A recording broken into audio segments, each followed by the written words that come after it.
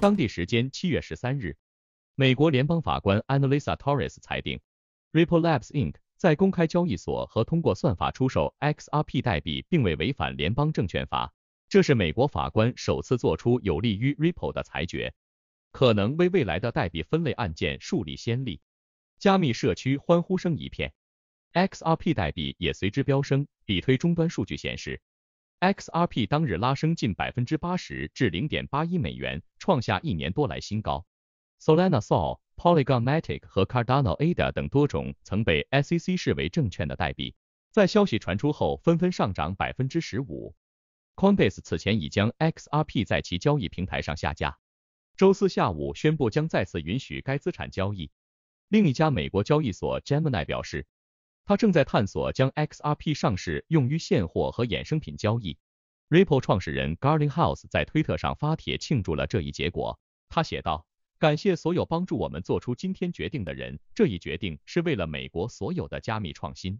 未来还会有更多比推。”此前报道，二零二零年十二月二十二日，SEC 正式公布了针对 Ripple 及其创始人 Brad Garlinghouse 和 Christian Larson 的起诉书。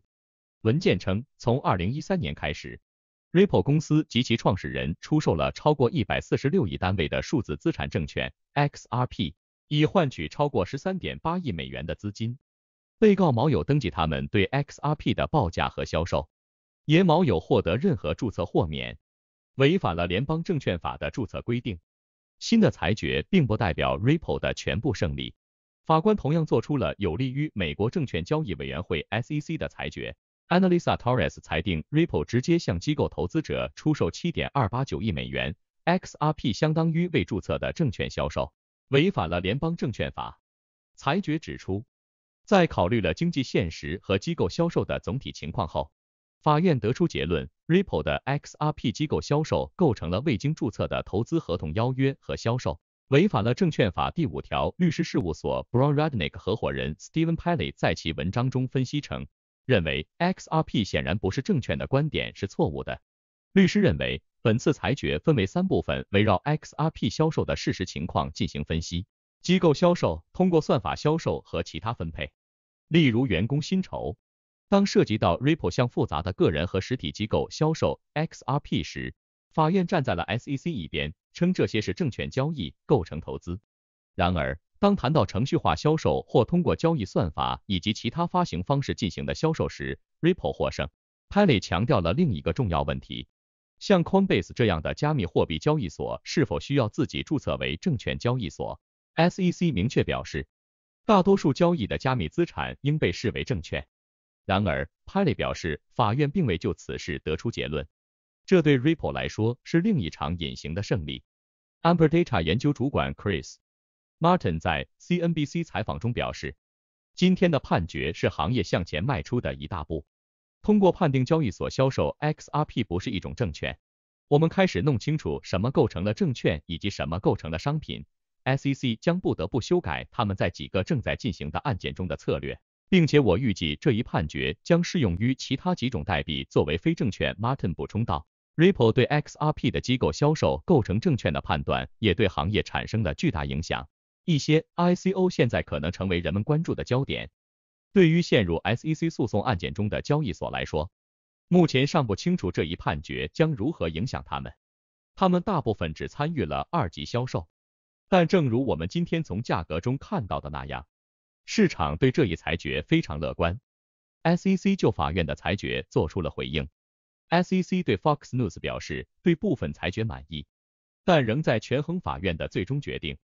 SEC 回应称，法院认为 Ripple 在某些情况下以违反证券法的投资合约形式提供和销售 XRP 代币。我们对这部分裁决表示满意。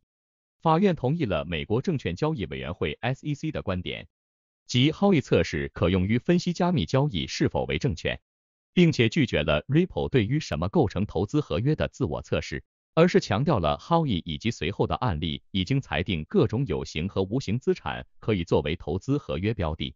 此外，法院驳回了 Ripple 的公平通知论点，指出 Howey 测试是明确的，声称不知者无罪并不能成为违反证券法的抗辩。我们将继续权衡法院的这项决定。Consensius 律师 Bill Hughes 在其推文中预测，SEC 应该会向第二巡回法院提起上诉。他说，SEC 的执法策略受到严重打击，SEC 通过过于广泛的规则制定进行的违立法受到严重破坏。SEC 主席在政府和国会山的信誉将处于历史最低点。部分案件仍在审理中。针对 SEC 指控 g a r d e n House 和 Larson 协助和教唆 Ripple 的违法行为，包括向机构投资者出售产品，法官拒绝就这部分案件作出裁决。